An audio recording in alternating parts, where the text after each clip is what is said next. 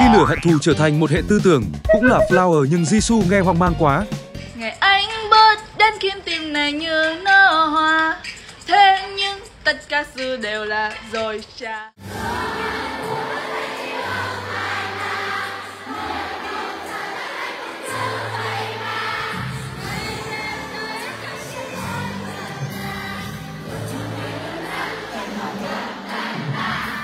cảm giác nó nhức nhức cái đầu. Phạm Thoại đã cuồng nay lại cuồng hơn. Em khẳng định mọi người xem nha.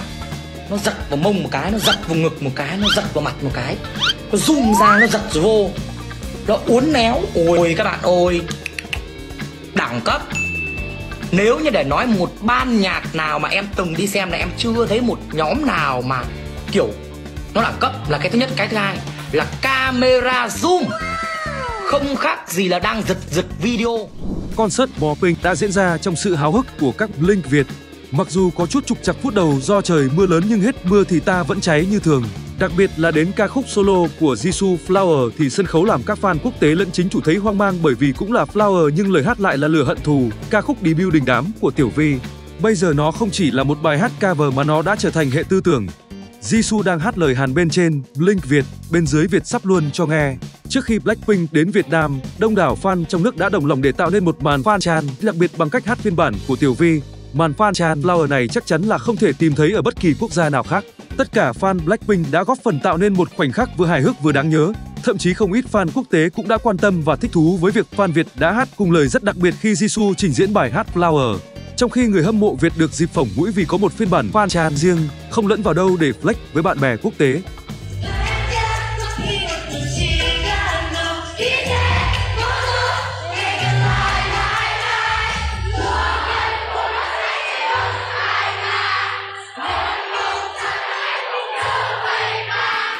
Không chỉ một đoạn mà là cả bài, một số fan quốc tế còn hoang mang đăng đàn hỏi sau buổi trình diễn rằng có ai giải thích dùm tôi, các bạn fan Việt đã hát gì trong phần solo của Jisoo được không? Tôi ngồi ở kết 2 và có lẽ họ đã hát một phần lời khác với Flower. Bên dưới phần bình luận thì fan Việt thích thú tràn vào để lại những bình luận. Chúng tôi đến đây để truyền bá một hệ tư tưởng. Các bạn đọc fan tràn một đoạn, chúng tôi đến đây để hát cả bài. Jisoo tưởng hát sai lời không á. Tôi đã quên luôn bản gốc, dù đó không phải tiếng Hàn, nhưng nỗ lực của fan Việt là không đùa được đâu. Họ nhớ lời bài theo ngôn ngữ của họ, hát theo Jisoo và đám đông càng trở nên cuồng nhiệt hơn vì sự tuyệt vời của cô ấy. Một cư dân mạng bình luận trên Twitter sau khi xem phiên bản fan chan độc lạ của V-Blink. Tối ngày 30 tháng 7, Blackpink biểu diễn đêm diễn thứ hai, khép lại hành trình của nhóm trong chuyến lưu diễn tại Việt Nam cũng như châu Á.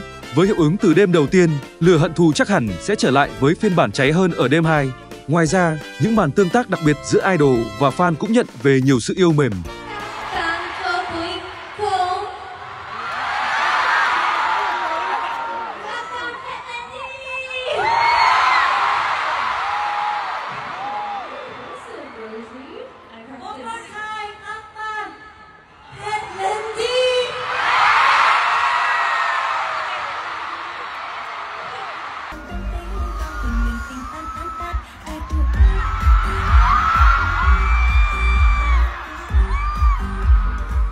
Thậm chí, khi một fan Việt gọi Rosie Rosie Rosie cô nàng còn không ngần ngại đắp oi oi oi trên Instagram cá nhân.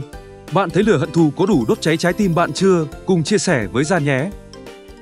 nhớ bấm nút theo dõi kênh nhé